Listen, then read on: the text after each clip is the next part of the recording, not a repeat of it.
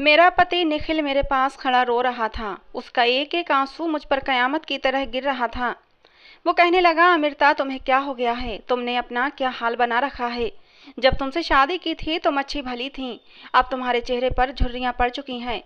तुम्हारे चेहरे की रंगत खराब हो गई है। अब तुम पहले जैसी नहीं रही। मैं तो निखिल की बातें सुनकर घबरा गई थी। मैंने उसका हाथ पकड़ लिया और बोली, आपको भी लगता है ना कि मुझमें बदलाव आ गया है? मैं जब भी खुद को आईने में देखती हूँ तो खुद को बदला हुआ पाती हूँ। मेरे चेहरे पर कोई रौनक ही नहीं रही। मुझे समझ नहीं आ रहा कि मुझे क्या हो गया है। थोड़ा सा चलती हूँ तो सांस फूलने लगती है। बैठ जाऊँ तो दिल घबराने लगता है। लेटी रहूँ तो कमर में दर्द होने लगता है। टांगों में खिंचाव होने लगता है। मैं तो सारा सारा दिन काम वालियों से अपनी टांगें दबाती रहती हूँ, मगर कोई फ़ायदा ही नहीं होता। सर में हर वक्त दर्द बना रहता है। ऐसा लगता है कि बस अभी फट ही जाएगा। निखिल, मुझे बहुत ही डर लगता है। कहीं मुझे कोई बीमारी तो नहीं हो गई? कहीं मैं मरने वाली तो नहीं हूँ। मैं हर समय डर में रहती हूँ। आपसे भी दिल की बात नहीं कही थी कि कहीं आप मुझे डॉक्टर के पास जाने का मशवरा न दे दें। मुझे डॉक्टर के पास नहीं जाना। ना जाने वो किस मर्ज की रिपोर्ट बनाकर दे दे। निखिल ने मेरा हाथ पकड़ लिया और कहने लगा, अमृता, तुम इतना कुछ सहन करती रही। तुमने मुझे क्यों नहीं बताया? ऐसे समय में ही तो अपने काम आते हैं। अगर मैं तुमसे ये बात ना करता तो शायद तुम मुझे यूँ ही अपनी तकलीफ़ छुपाती रहती। अमृता, तुमने मुझे नाराज़ कर दिया है।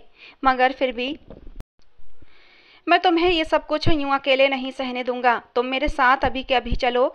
मैं शहर के सबसे अच्छे डॉक्टर के पास तुम्हें लेकर चलता हूँ। मुझे उम्मीद है कि थोड़े से इलाज से तुम बिल्कुल ठीक हो जाओगी। मैंने नामे सिर हिला दिया और बोली, नहीं नहीं, मुझे बहुत डर लग रहा है। क्या होगा? अगर डॉक्टर ने कह दिया कि इन्हें कोई खतरनाक बीमारी लग गई है निखिल बोला, पागल मत बनो अमृता। कोई भी डॉक्टर मरीज़ के मुँह पर ऐसा नहीं बोलते। चलो, तुम अभी कभी मेरे साथ चलो। आज ऑफ़िस में काम भी कुछ ज़्यादा नहीं है। निखिल मुझे ज़बरदस्ती तैयार करके अपने साथ ले गया। मैं सारे रास्ते अजीब अजीब ख्यालों से परेशान होती रही। दिल घबरा रहा था, जैसे कुछ अनहोनी होने वाली है। मैं डॉक्टर के कमरे में बैठी, डॉक्टर को अपनी तकलीफ़ों के बारे में बता रही थी। उसने मुझे अलग अलग तरीके के टेस्ट लिख दे दिए। सारे टेस्ट हो गए। आधे घंटे बाद ही हमें रिपोर्ट मिलना थी। मैं बहुत घबराई हुई थी। रो रो कर भगवान से प्रार्थना कर रही थी, हे भगवान, सब कुछ नॉर्मल हो। आखिरकार वो समय भी आ गया था जब रिपोर्ट्स मिल गई थी। मैं और निखिल रिपोर्ट्स लेकर डॉक्टर के ऑफ़िस में उनके सामने बैठे थे। डॉक्टर मेरी रिपोर्ट्स देखकर अपने माथे पर हाथ मारने लगा। कुछ अजीब सा लग रहा था मुझे। मेरी तो जान पर बन गई थी। मैं जल्दी से बोली, डॉक्टर, क्या है मेरी रिपोर्ट्स में? आप परेशान लग रहे हैं। डॉक्टर कहने लगा, दरअसल आपका केस बहुत ही अजीब केस है। ऐसा कभी कभी ही होता है। आपसे पहले आपके जैसा कोई भी केस मेरे पास नहीं आया। शायद मेरे पास इतना तजुर्बा ही ना हो कि मैं आपके केस को समझ पाऊँ। मैं आपको देश का सबसे बड़ा डॉक्टर बताता हूँ। आप एक बार उनके पास चली जाएँ और अपनी रिपोर्ट्स डॉक्टर को दिखाएँ। डॉक्टर की बात सुनकर मैं फूट फूट कर रोने लगी। डॉक्टर बोला, चिंता की ज़रूरत नहीं है। डॉक्टर वर्मा तो मरीज़ की नब्ज पर हाथ रखकर ही उसकी बीमारी पकड़ लेते हैं। आप चिंता ना करें, सब अच्छा ही होगा। मैं आपको दर्द से आराम के लिए और कुछ ताकत के लिए दवाइयाँ वगैरह लिख देता हूँ। मैं डॉक्टर की लिखी हुई दवाइयाँ लेकर घर आ गई थी, जबकि मेरा दिल बुरी तरह से घबरा रहा था। मेरे पति निखिल ने इस समय मेरा बहुत साथ दिया और कहने लगा, तुम्हें कुछ भी नहीं होगा। भगवान सब अच्छा ही करेगा। मैंने डॉक्टर की दी हुई दवाइयों का इस्तेमाल शुरू कर दिया तो मैं बिल्कुल ठीक हो गई थी। मुझे डॉक्टर वर्मा के पास जाने की भी ज़रूरत महसूस नहीं होती। कुछ दिनों से मैं हट्टी कट्टी ही हो गई थी। अब मैं खुश रहने लगी थी। मगर निखिल अब हर पल परेशान रहता था। मैंने वजह पूछी तो वो टाल दिया करता था और मुझसे यही कहता कि तुम मेरे साथ चलो, डॉक्टर वर्मा के पास। जब तक तुम्हारा चेकअप उनके पास नहीं हो जाएगा, मुझे सुकून नहीं मिलेगा। जबकि मैं निखिल को कहती कि आप बेकार में ही चिंता करते हैं, मुझे तो कोई बीमारी सिरे से है ही नहीं। अगर मैं बीमार होती तो डॉक्टर की दी हुई दवाई मुझ पर असर न करती। अब मैं अच्छी भली हो गई हूँ और इसका यही मतलब है कि मैं ठीक हूँ, मुझे कोई बीमारी है ही नहीं। निखिल बस चुप रह गया। उस समय तो कुछ नहीं बोला, लेकिन अभी कुछ ही दिन गुजरे थे और उन दवाइयों ने मुझ पर असर करना छोड़ दिया था। और इस बार तो मेरी हालत पहले से भी ज़्यादा ख़राब हो गई थी। अब मैं हर समय परेशान और घबराई सी रहती थी। निखिल ने मेरी हालत देखी तो कहने लगा, मैंने तुमसे कितनी बार कहा कि मेरे साथ डॉक्टर वर्मा के पास चलो और तुम हो कि बात ही नहीं मानती। अब मैं तुम्हारी एक भी नहीं सुनूँगा और तुम्हें हर हाल में अपने साथ लेकर ही जाऊँगा। अब निखिल की बात न मानने का मेरे पास कोई दूसरा चारा नहीं था। इसलिए मैंने अपने पति की बात मान ली और डॉक्टर वर्मा के पास चली गई। डॉक्टर वर्मा ने मेरा चेकअप किया और मेरी रिपोर्ट्स देखी तो मुझे कुछ और टेस्ट करवाने के लिए कह दिया। मैं तो इस चक्कर में फंस कर रह गई थी। पर मेरी जब रिपोर्ट्स सामने आई तो डॉक्टर वर्मा ने कहा, मुझे ये बात आपसे कहनी तो नहीं चाहिए, मगर आपको एक ऐसी बीमारी हो गई है, जिसका इलाज हमारे हिंदुस्तान में तो है ही नहीं। आप ऐसा करें, बाहर के देश चली जाएँ। हो सकता है वहाँ पर आपका इलाज हो जाए। लेकिन मैं इस बात की भी गारंटी नहीं दे सकता कि आप बाहर के देश जाकर भी ठीक हो सकती हैं। आपकी बीमारी बहुत ही उलझी हुई है। आपको एक लाइलाज बीमारी हो गई है।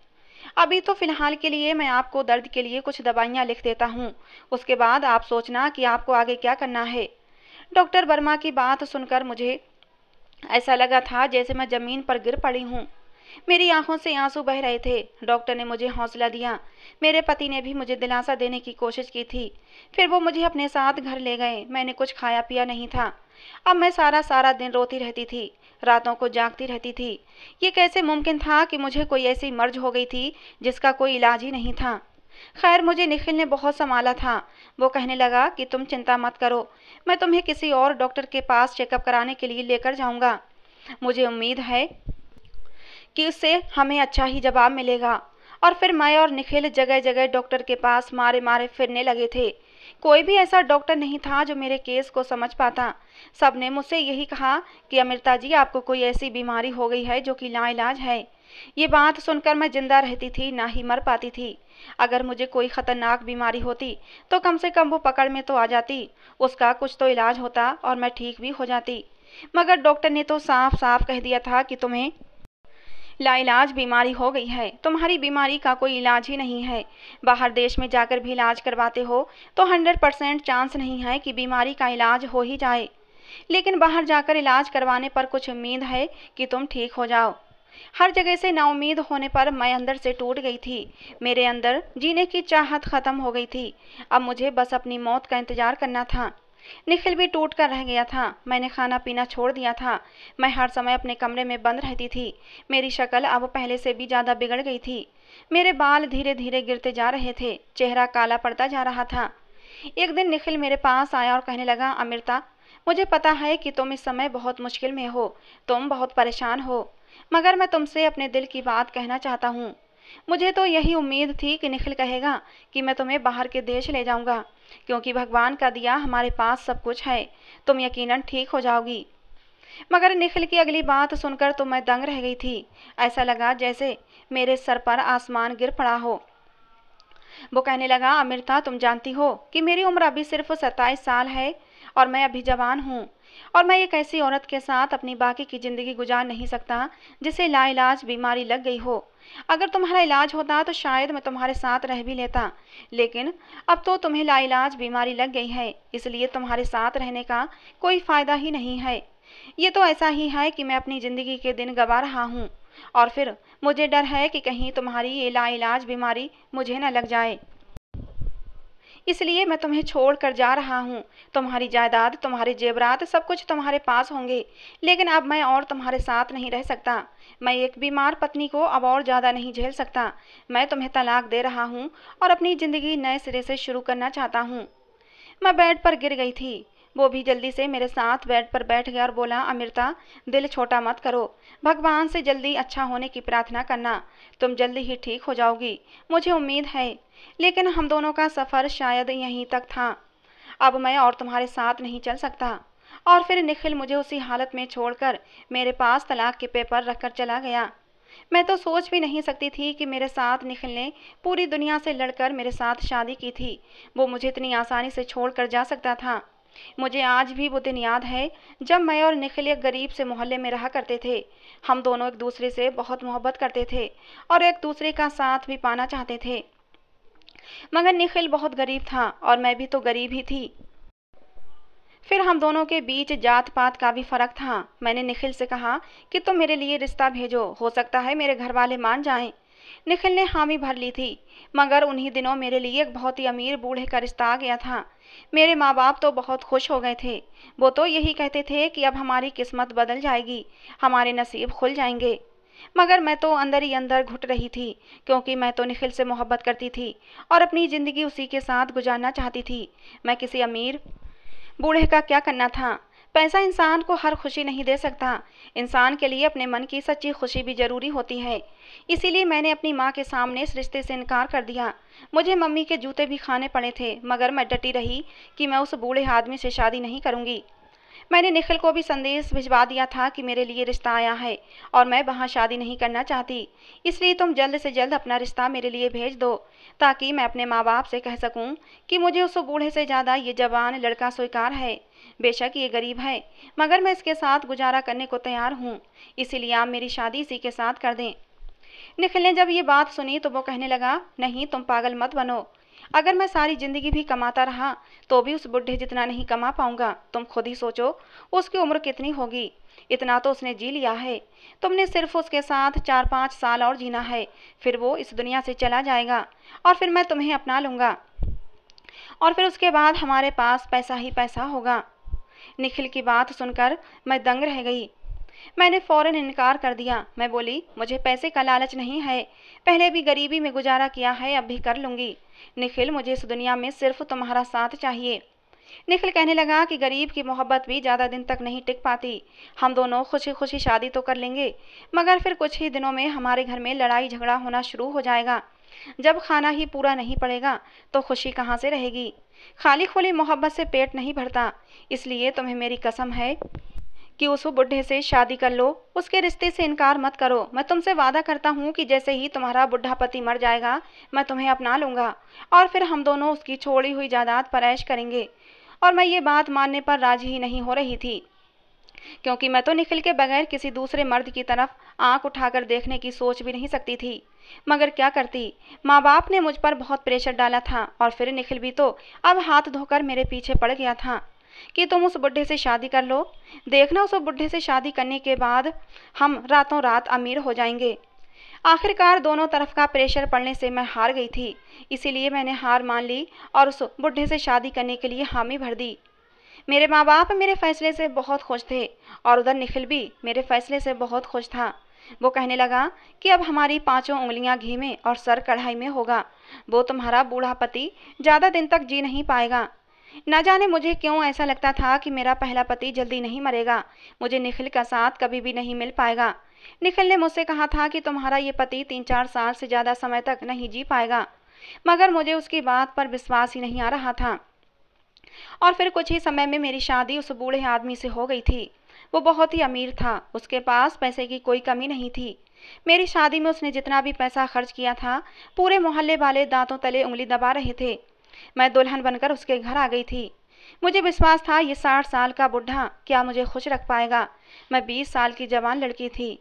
लेकिन सुहाग रात में मैं दंग रह गई क्योंकि उसके अंदर तो जवान लड़कों जैसा जोश था। जब मेरे बूढ़े पति ने मेरे शरीर को छुआ था तो मेरी आँखों से आँसू निकल पड़े थे। अपनी बेबसी पर मुझे रोना आ रहा था। निखिल के अलावा मैंने किसी और के बारे में सोचा ही नहीं था। लेकिन मैंने खुद को हालात के धारे पर छोड़ दिया था। खैर, मेरी शादी को धीरे धीरे चार महीने गुजर गए थे। एक रात मैं और मेरे पति सोए हुए थे। मगर जब मैं सुबह उठी तो मेरे पति नहीं उठे। मैंने उन्हें उठाने की कोशिश की तो मालूम हुआ कि उनका शरीर तो एकदम ठंडा पड़ चुका था और वो मर चुके थे। मैंने तो सोचा था कि शायद मेरी पूरी ज़िंदगी इसी घर में, इसी बूढ़े के साथ गुजर जाएगी, मगर वो तो सिर्फ़ चार महीने में ही मर गया था। मौत एक बहुत ही डराने वाली चीज़ होती है। मुझे अपने पति की मौत का अफसोस हुआ था। हालाँकि मुझे तो खुश होना चाहिए था। मैं यही तो चाहती थी कि वो मर जाए और मेरी जान उससे छूट जाए। मगर वो जब मरा तो मेरी आँखों से आँसू की बूंदें टपक पड़ी थीं। मुझे अपने पति के मरने का दुख था। इन चार महीनों में मेरे पति ने मेरा बहुत ध्यान रखा था। मुझे खुश रखने की हर मुमकिन कोशिश की थी। मेरे पति का इस दुनिया में कोई सगा रिश्तेदार नहीं था। जो दूर पार के रिश्तेदार थे, वो सब मेरे पति की जायदाद के भूखे थे। मेरे पति ने इस उम्र में आकर शादी ही इसलिए की थी क्योंकि उन्हें इस घर के लिए बारिश मिल जाए, जो उनके जाने के बाद उनकी दौलत को, उनके बिज़नेस को संभाल सके। और फिर भगवान का चमत्कार हुआ। शादी के दूसरे महीने में ही मुझे पता चल गया था कि मैं प्रेग्नेंट हूँ। जब ये खबर मुझे डॉक्टर ने सुनाई थी तो मुझे बिल्कुल भी खुशी नहीं हुई थी। लेकिन जब मैंने अपने पति की तरफ़ देखा तो उनकी आँखों में ऐसी चमक थी जो मैंने आज तक नहीं देखी थी। उनका बस नहीं चल रहा था कि वो क्या से क्या कर जाएँ। पूरे अस्पताल में उन्होंने मिठाई बांटी थी। घर जाकर गरीबों में खाना, पैसे, कपड़े बांटे थे। और फिर अपने पति की ये खुशी देखकर मैंने भी अपने दिल को समझा लिया था। मैंने भी आने वाले बच्चे को खुशी खुशी स्वीकार कर लिया था। मेरे पति मेरा इतना ध्यान रखते थे कि उन्होंने मुझे ज़मीन पर भी पैर नहीं रखने दिया था। ये खुशखबरी उनके लिए इतनी बड़ी खुशखबरी थी कि उन्होंने उसी समय सारी जायदाद मेरे नाम कर दी थी। मेरे पति ने शादी के दूसरे ही महीने सारी जायदाद मेरे नाम कर दी। मेरे पति की आखिरी इच्छा यही तो थी कि मैं उन्हें इस घर के लिए एक बारिश दे दूँ। लेकिन शायद भगवान ने उनकी किस्मत में ये खुशी नहीं लिखी थी। कल की ही तो बात है, जब मैं सीढ़ियों से उतरकर नीचे गार्डन में टहलने के लिए जा रही थी। अचानक से पता नहीं सीढ़ियों पर मेरा पैर कैसे फिसल गया। ऐसा लगा था जैसे सीढ़ियों पर तेल पड़ा हो। और फिर मेरा पैर फिसल गया। मैं नीचे गिरी थी। मेरे पति मुझे डॉक्टर के पास लेकर गए। मैं तो बच गई थी, लेकिन मेरा बच्चा नहीं बच पाया था। अपने बच्चे के खोने का मुझे बहुत दुख था। माँ बनना एक अलग ही एहसास होता है, और यह एहसास मेरे दिल में धीरे धीरे उतरने लगा था। मैं इस खूबसूरत एहसास को महसूस करती थी। ये खबर मेरे पति पर किसी बिजली की तरह गिरी थी। शायद यही सदमा वो बर्दाश्त नहीं कर सके थे। रात को लेटे थे तब भी बहुत उदास थे, और सुबह होते ही वो इस दुनिया से जा चुके थे। ये सदमा उनके लिए इतना बड़ा था कि उनकी जान लेकर ही गया। मैं उनके जाने से उदास हो गई थी। तीन महीने तक मैं अपने पति के मरने का शोक मनाती रही। लोगों का आना जाना लगा रहा था। इसी बीच मैंने निखिल से कोई संपर्क नहीं रखा था। तीन चार महीने के बाद मैं अपने माँ बाप के घर गई तो वहीं पर निखिल भी आ गया था। उसने कहा था कि तुम्हें वो वादा याद है जो शादी से पहले मैंने तुम्हारे साथ किया था? मैंने हाँ में सिर हिला दिया और बोली हाँ मुझे याद है, लेकिन मुझे यही शक है कि तुम भूल गए होगे, क्योंकि तुम एक विधवा के साथ क्यों शादी करने लगे? तो निखिल कहने लगा, मैं इतना बेगैरत नहीं हूँ कि अपना किया हुआ वादा भूल जाऊँ। मैं आज भी तुमसे शादी करने पर राज़ी हूँ। तुम बस अपने माँ बाप को राज़ी करो। मैं अपने मम्मी पापा को तुम्हारा हाथ मांगने के लिए भेज दूँगा। ये बात सुनकर तो मैं सातवें आसमान पर पहुँच गई थी। मैंने ज़िंदगी से सिर्फ़ निखिल का साथ ही तो मांगा था। और जब वो मुझे मिल रहा था तो मैं साथ में आसमान पर क्यों ना पहुँचती। मैंने अपने माँ बाप से साफ़ साफ़ कह दिया कि अगर निखिल का रिश्ता आया तो उसे स्वीकार कर लेना। इनकार करने की कोई ज़रूरत नहीं है। एक बार अपनी मर्ज़ी से मेरी शादी की थी, लेकिन अब आप अपनी मर्ज़ी मेरे ऊपर थोप नहीं सकते। तब मेरी माँ कहने लगी कि पहले तुमने हमारी खुशी के लिए सर झुका दिया था। अब हम तुम्हारी बात ज़रूर मानेंगे। तुम जहाँ कहोगी तुम्हारी शादी कर देंगे। मैं ये बात सुनकर बहुत खुश हो गई थी।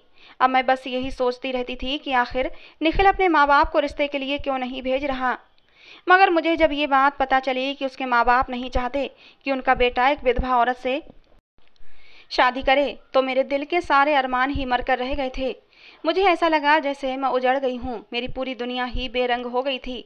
निखिल ने मुझसे कहा था कि तुम परेशान मत होना, हिम्मत मत हारना। मैं अपने घर वालों को मना ही लूँगा। मगर मैंने अपने दिल से अब ये खुशफहमी निकाल दी थी कि कभी निखिल से मेरी शादी होगी। मुझे यही लगता था कि अब मैं और निखिल फिर कभी भी एक नहीं हो पाएँगे। दिन इसी तरह गुजरते रहे और फिर एक महीने के बाद निखिल अपने माँ बाप को लेकर मेरे घर आ गया था। मैं तो हैरान हो गई थी। मेरे तो पाँव ही ज़मीन पर नहीं पड़ रहे थे। खुशी से मैं बार बार उछल रही थी। मेरे माँ बाप ने निखिल का रिश्ता फ़ौरन ही स्वीकार कर लिया था। फिर मैंने बाद में निखिल से पूछा कि तुम्हारे माँ बाप शादी पर कैसे राज़ी हुए? तो निखिल मुस्कुराकर कहने लगा, कैसे राज़ी ना होते? मैंने भी खुदकुशी की धमकी दे दी थी। मैंने अपने माँ बाप से कहा था कि अगर मेरी शादी अमृता से नहीं हुई तो मैं मर जाऊँगा। अगर आपने मेरी शादी अमृता के साथ न की तो आपको अपने बेटे से हाथ धोना पड़ेंगे। और फिर माँ बाप को तो हथियार डालना ही पड़े थे। खैर, जो भी था, मैं बहुत खुश थी कि निखिल मेरी ज़िंदगी में शामिल हो गया है। हम दोनों की बहुत ही सादगी से शादी हो गई थी और फिर मैं निखिल को लेकर अपने पहले पति की हवेली में आ गई थी। सारी जायदाद तो मेरे नाम पर ही आ गई थी।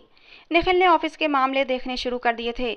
मैंने निखिल से कह दिया था कि ये सारी जायदाद तो मेरे नाम पर हैं, लेकिन ऊपर का जितना भी मुनाफा होगा, उसके सारे हकदार तुम रहोगे। ये बात सुनकर निखिल बहुत खुश हुआ था और बहुत ज़्यादा मेहनत से काम करता था। उसने मेरा बिज़नेस बढ़ाने में बहुत मेहनत की थी। हम दोनों एक दूसरे के साथ बहुत खुश थे। ज़िंदगी फूलों की सेज मालूम होती थी। निखिल उठते बैठते मेरी तारीफ़ें क्या करता था? और यही कहता था कि तुम बहुत किस्मत वाली हो। तुम्हारे नसीब से भगवान ने मेरे दिन फेर दिए हैं। अगर तुम मेरे लिए इतनी बड़ी कुर्बानी न देती तो हम दोनों उसी पुराने घर में रह रहे होते। और तुम एक नया सूट बनाने के लिए भी तरस रही होती। निखिल बिज़नेस को चलाने के लिए बहुत ही मेहनत कर रहा था।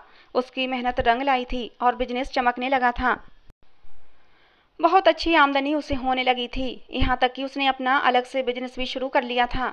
अब उसने मेरे बिज़नेस को भी समय देना होता था और उधर अपने बिज़नेस को भी समय देना होता था। धीरे धीरे निखिल अपनी पर्सनल प्रॉपर्टी को बढ़ाता ही जा रहा था।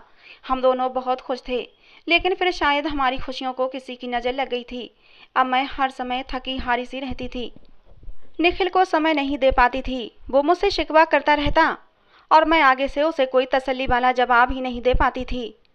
मैं उसे अपनी बीमारी छुपाती रहती थी। मैं नहीं चाहती थी कि निखिल को ये पता चले कि मैं बीमार हूँ और उसके साथ रहने के काबिल नहीं हूँ। लेकिन निखिल ने मेरी बीमारी पकड़ ही ली थी और मुझे डॉक्टर के पास लेकर गया था। और फिर डॉक्टर ने मुझे बहुत ही भयानक खबर सुनाई थी।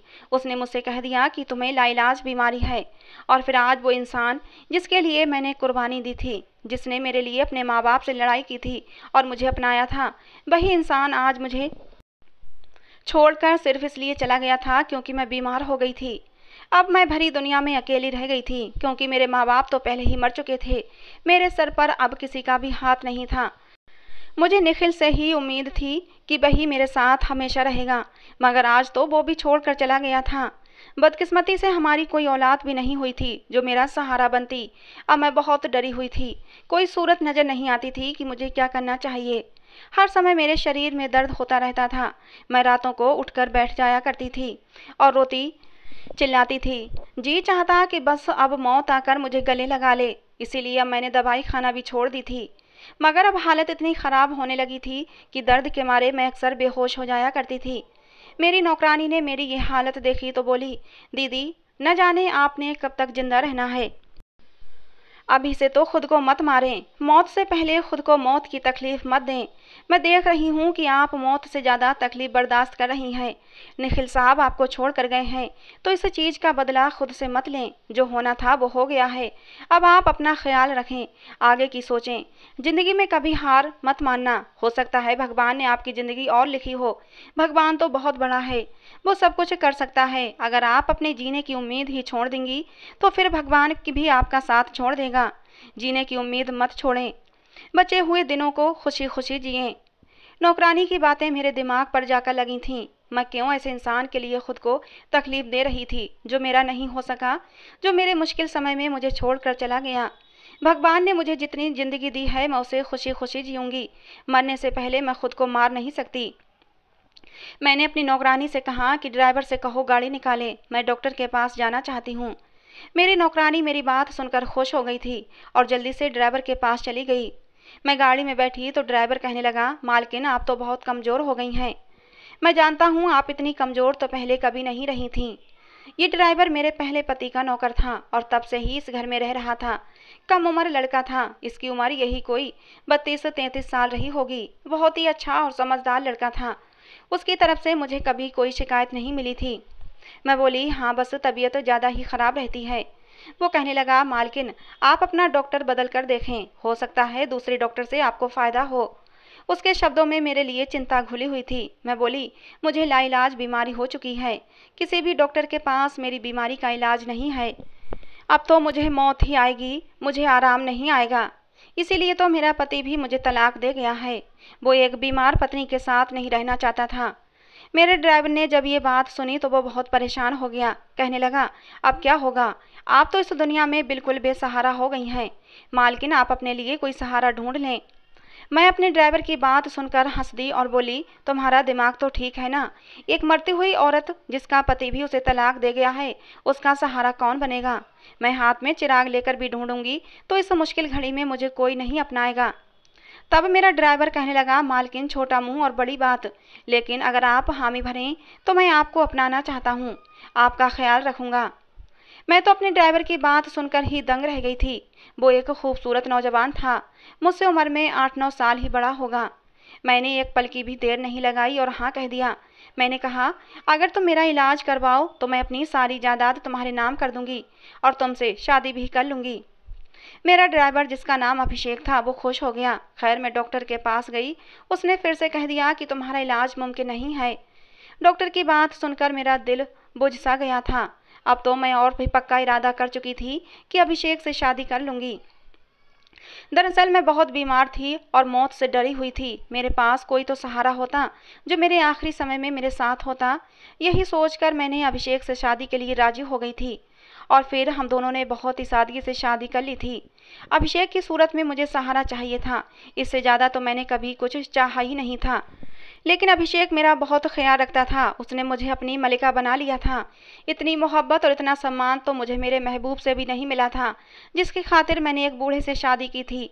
अभिषेक मुझे हर तरह के डॉक्टर के पास लेकर जाता था, ताकि मैं जल्द से जल्द ठीक हो सकूँ। मगर मेरी बीमारी किसी भी डॉक्टर के समझ में आती ही नहीं थी। मैं दिन रात उदास रहती थी और दिन ब दिन कमज़ोर होती जा रही थी। अभिषेक मेरा दिल बहलाने की पूरी कोशिश करता था। वो मुझे अब हकीमों के पास लेकर जाने लगा था। मुझे हकीमों पर विश्वास तो नहीं था, मगर सिर्फ़ अभिषेक की खुशी की खातिर चली जाया करती थी। धीरे धीरे दो महीने यूँ ही गुजर गए थे। एक दिन अभिषेक मुझे बहुत ही पहुँचे हुए हकीम के पास लेकर गया था। अभिषेक ने उस हकीम के कान में न जाने क्या कहा कि वो हकीम मेरी तरफ़ देखकर कहने लगा, इस बच्ची का इलाज तो बिल्कुल मुमकिन है। मैं ये बात सुनकर खुशी से उछल पड़ी थी। यहाँ तक कि खुशी के मारे मेरी आँखों में आँसू भी आ गए थे। मैंने खुशी में हकीम के कदमों पर हाथ रख दिया और बोली, बताएँ मेरा इलाज क्या है? वो कहने लगा, तुमने आज ही बीस बुढ़ों के खून की एक एक सिरिंज अपने शरीर में लगानी है। इससे तुम्हारे शरीर का जो सिस्टम है, वो ताकतवर हो जाएगा और तुम बिल्कुल ठीक हो जाओगी। ये कैसी अनहोनी सी और अजीब बात थी। मैं सुनकर परेशान हो गई थी, क्योंकि मैं एक पढ़ी लिखी लड़की थी। इस तरह की कोई भी बात मेरा दिमाग स्वीकार नहीं कर पा रहा था। मुझे पता था ये खतरनाक काम है। इसे करने से कुछ भी हो सकता है। भला ऐसे में किसी का भी ब्लड भला ऐसे मैं किसी का भी ब्लड अपने शरीर में कैसे डाल सकती थी? अभिषेक कहने लगा अमृता तुम चिंता मत करो। मैं बीस बुढ़ों का इंतज़ाम कर दूँगा। मैंने धीरे से अभिषेक से कहा यह तो बहुत ही खतरनाक काम है। इस तरह तो बीमारियाँ और भी ज़्यादा फैलती हैं। अभिषेक अजीब सी हँसी हंसा और बोला, क्या तुम पहले से ठीक हो? पहले भी तो न जाने किस बीमारी में घिरी हुई हो। मुझे अभिषेक की ये बात बिल्कुल भी अच्छी नहीं लगी थी, इसलिए मैं उठकर घर आ गई। अभिषेक घर आया और मुझसे माफ़ी मांगने लगा और मुझे मनाने की कोशिश करता रहा। बोला, अगर तुम इस तरह ठीक हो जाओगी तो ये सब करने में क्या हर्ज है? हम एक चांस तो लेकर देख ही सकते हैं। वैसे भी तुम बीमार ही हो। हर डॉक्टर ने ना उम्मीद कर दिया है। तो ये आखिरी उम्मीद हमारे पास बची है। तो हम इसे मुँह क्यों मोड़ें? अगर तुम ठीक हो जाओगी तो हम एक अच्छी, खुशहाल ज़िंदगी को जिएँगे। हमारे अपने बच्चे होंगे। हमारा घर आबाद होगा। प्लीज़ मेरी खुशी के लिए मान जाओ। मैं खामोश थी। मैंने अभिषेक से सोचने के लिए एक रात का समय ले लिया था। अब रात के पिछले पहर अभिषेक गहरी नींद में सो रहा था और मैं बेड पर बैठी सोच रही थी कि मुझे अब क्या करना चाहिए। तभी मेरे मोबाइल की स्क्रीन चमक उठी थी। देखा तो निखिल का नंबर जगमगा रहा था। मैं दंग रह गई। आँखों से आँसू गिरने लगे थे। ना चाहते हुए भी मैंने अपने बेवफा पति की कॉल अटेंड कर ली थी। वो कहने लगा अमृता तुम कैसी हो?